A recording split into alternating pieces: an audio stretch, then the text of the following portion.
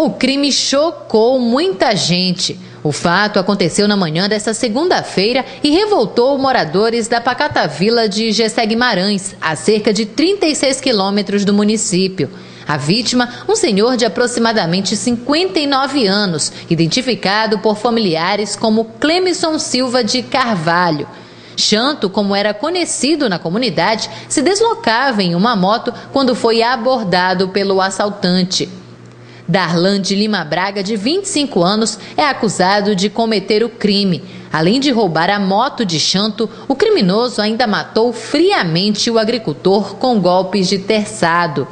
Seu Cleudomar é irmão da vítima. Ele conversou com a nossa reportagem e disse como soube da morte do irmão, que deixa esposa e três filhos. Isso foi muito rápido. Eu estava aqui na cidade, que eu moro lá no interior também.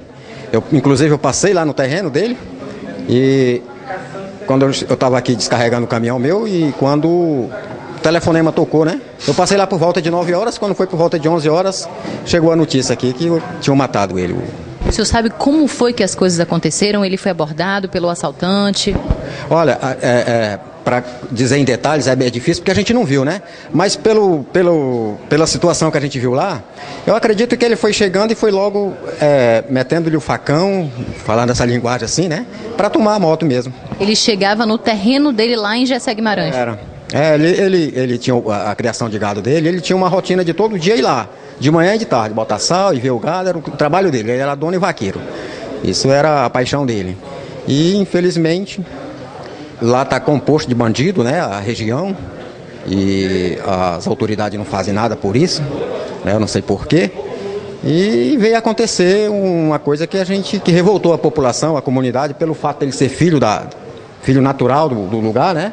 Uma pessoa que nunca teve problema com ninguém, com justiça com ninguém. Ele deixou família, filhos, mulher? Ele deixou uma esposa e três filhos. Lamentável, né, seu Cledomar? É muito triste. Eu não desejo para ninguém.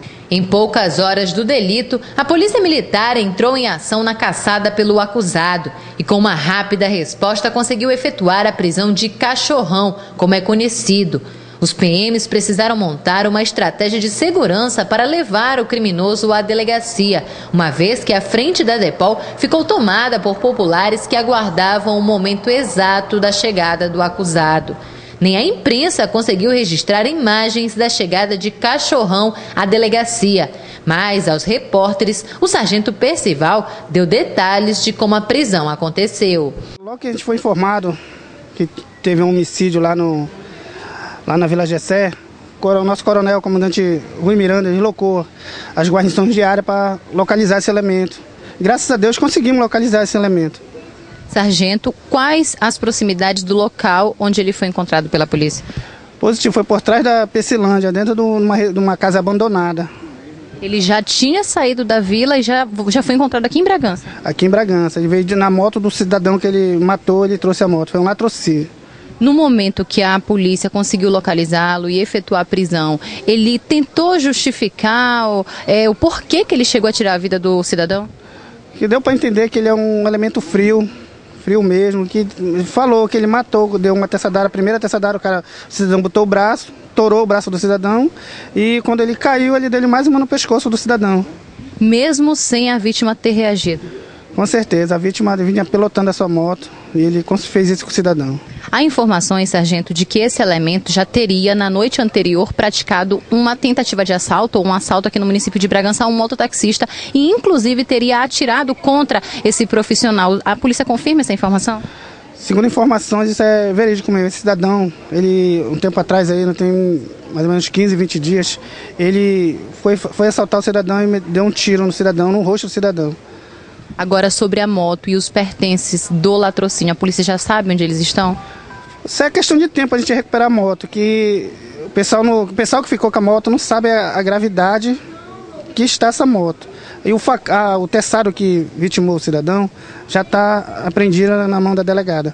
Agora, a gente não pode deixar de falar, sargento, sobre o esquema de segurança que foi montado pela polícia, até porque muita gente da vila veio para frente da Depol numa tentativa aí de tentar é, intimidar esse cidadão que cometeu esse crime.